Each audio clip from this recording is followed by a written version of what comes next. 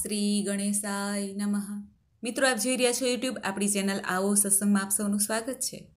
મિત્રો, આજે આપણે આ વિડીયોમાં જાણશું તારીખ ચૌદ મે બે હજાર એકવીસ શુક્રવારે આવતી વૈશાખ માસના સુદ પક્ષની ત્રીજ એટલે અક્ષય તૃતીયા. આ અક્ષય તૃતીયાના મહાત્મય વિશે આપણે આ વિડીયોમાં સાંભળવાના છીએ. જો આપને આ વીડિયો પસંદ આવે તો લાઇક શેર સબસ્ક્રાઈબ જરૂર કરજો. મિત્રો, દર વર્ષે વૈશાખ માસની શુક્લ પક્ષની તૃતીયા તિથિ, કે જેમાં અક્ષય તૃતીયાનો પર્વ મનાવવામાં આવે છે. આ સમયે તારાગ્રહોમાં સૂર્ય અને ચંદ્રમા ઉચ્ચ ભાવમાં બેઠા હોય છે. ધાર્મિક માન્યતા અનુસાર આ દિવસ ઘણો શુભ અને માંગલિક કહેવાય છે. આ દિવસે કોઈ પણ શુભ કાર્ય વિના મુહૂર્ત જોયા વગર જ કરી શકાય છે. અક્ષય તૃતીયાનો પાવન પર્વ આ વખતે જે આપણે શુક્રવારે પણ આવે છે, જે માતા લક્ષ્મીજીનો વાર છે, જેમાં આપણે શુભ ખરીદી પણ કરી શકાશે. અક્ષય તૃતીયાનું શુભ મુહૂર્ત વિશે આપણે જાણી લઈએ, તો આ દિવસે કોઈ પણ શુભ મુહૂર્ત જોવાની જ આવશ્યકતા રહેતી નથી. માન્યતા અનુસાર ભગવાન શ્રી હરિ વિષ્ણુ અને માતા લક્ષ્મીજીની પૂજા, આરાધનાથી શુભ ફળની પ્રાપ્તિ થાય છે. ધાર્મિક માન્યતા અનુસાર અક્ષય તૃતીયાના દિવસે ભગવાન પરશુરામનો જન્મ થયો હતો. આ અક્ષય તૃતીયાના દિવસે દાન પુણ્ય કરવાથી અધિકથી અધિક ફળની પ્રાપ્તિ થાય છે. અક્ષય ફળની પ્રાપ્તિ થાય છે. અક્ષય એટલે કે જેનો કદી નાશ નથી થતો. માટે શુભ કાર્ય કરવાથી શુભ ફળની પ્રાપ્તિ, અક્ષય ફળની પ્રાપ્તિ થાય છે. અક્ષય તૃતીયાના દિવસે સોનું ખરીદવાની પરંપરા પણ છે. એવું પણ માનવામાં આવે છે કે આ દિવસે સોનું ખરીદવાથી, ચાંદી ખરીદવાથી, શુભ ખરીદી કરવાથી પરિવારમાં સુખ સમૃદ્ધિ આવે છે અને આ બધું અક્ષય થઈ જાય છે. એટલે કે ક્ષય નથી થતો, નાશ નથી થતો. અક્ષય તૃતીયા શુક્રવારે ચૌદ મે બે હજાર એકવીસે આરંભ થાય છે. પૂજાનું મુહૂર્ત છે સાંજે પાંચને આડત્રીસથી બારને અઢાર મિનિટે. અને આ અક્ષય તૃતીયાની અવધિ છે છ કલાક ચાલીસ મિનિટની. અક્ષય તૃતીયાનો પ્રારંભ તો ચૌદ તારીખે જ આરંભ થાય છે અને અક્ષય તૃતીયાની સમાપ્તિ પંદર તારીખ બે હજાર એકવીસ શનિવારે પૂર્ણ થાય છે. આવી રીતે આ અક્ષય તૃતીયાનું મુહૂર્ત જણાવવામાં આવ્યું છે. જ્યોતિષશાસ્ત્ર અનુસાર આ અક્ષય તૃતીયાનો ઘણો લાભ લેવા જેવો છે. માન્યતા અનુસાર અક્ષય તૃતીયાના દિવસે પિંડદાન કરવાથી પિતરોને મુક્તિ પ્રાપ્ત થાય છે, પિતરોના આશીર્વાદ પ્રાપ્ત થાય છે. અક્ષય તૃતીયાના દિવસે સતયુગ, ત્રેતાયુગની શરૂઆત પણ થઈ હતી એવું કહેવાય છે અને અક્ષય તૃતીયાના દિવસે જ દ્વાપર યુગ પણ સમાપ્ત થયો હતો.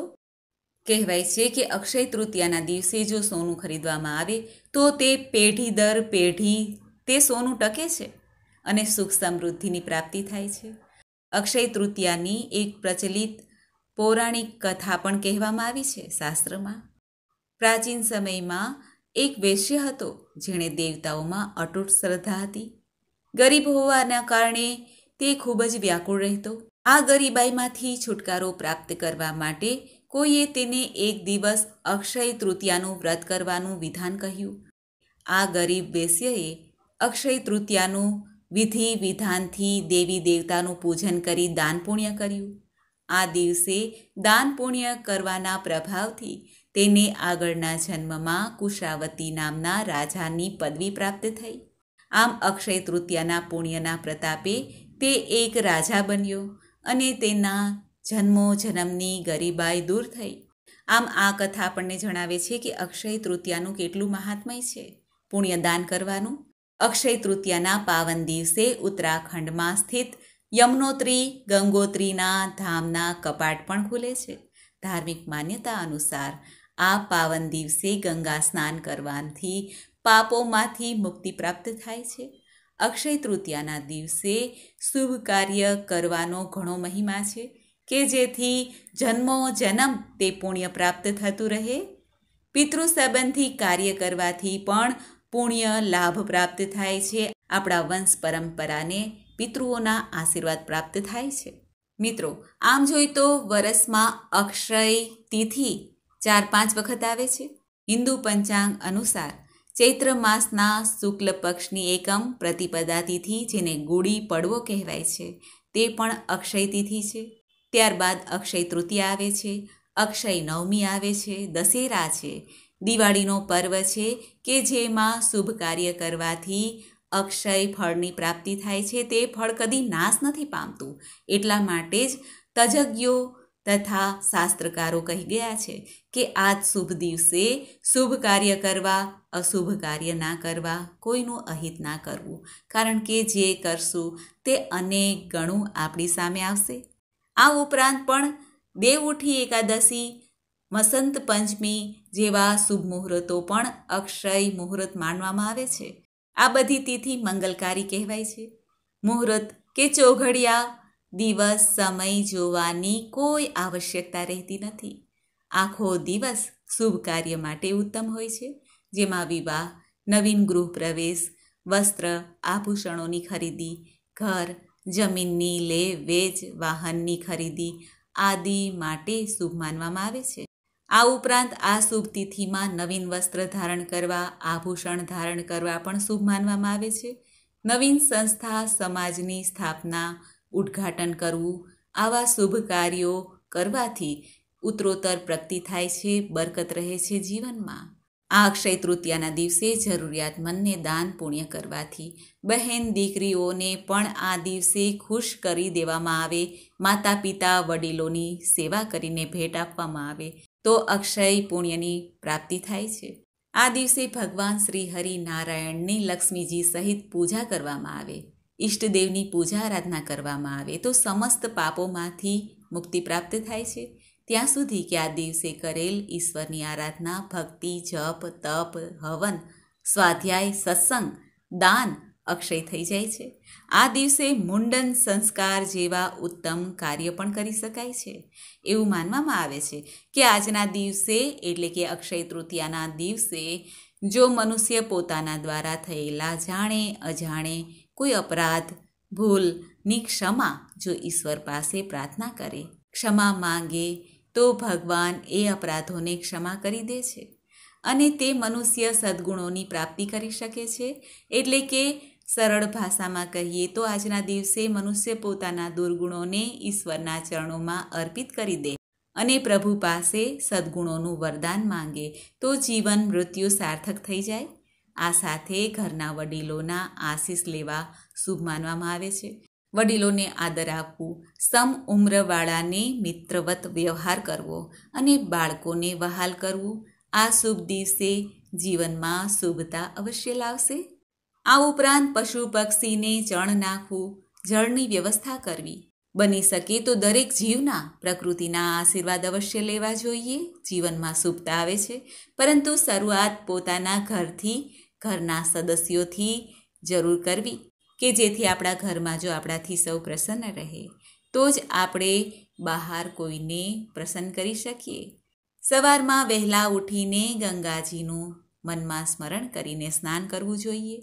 જે લોકો ગંગા કિનારે રહે છે, ગંગા ઘાટ પર સ્નાન કરે છે, તે લોકો તો ભાગ્યશાળી છે. પરંતુ આપણે હૃદય મનમાં ગંગાજીનું સ્મરણ કરવું. ગંગા ચ યમુના ચ એવ ગોદાવરી, સિંધુ કાવેરી, સરયુ જલસ્મી, સન્નિધિમ ગુરુ આવી રીતે માતા ગંગાજીને વરુણ દેવતાનું સ્મરણ કરીને સ્નાન કરવું. અને જો ગંગાજળ આપણી પાસે હોય તો બે ટીપા ગંગાજળના સાદા પાણીમાં ઉમેરીને આ શ્લોક બોલતા બોલતા સ્નાન કરી લેવું.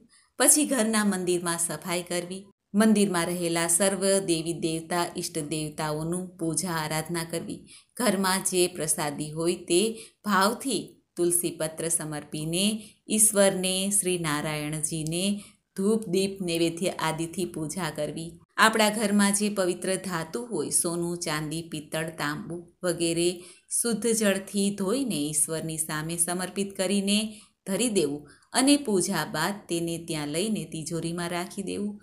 શુભ મુહૂર્ત સાચવી લેવું. પછી તેનો ઉપયોગ ઘરમાં કરી શકાય છે.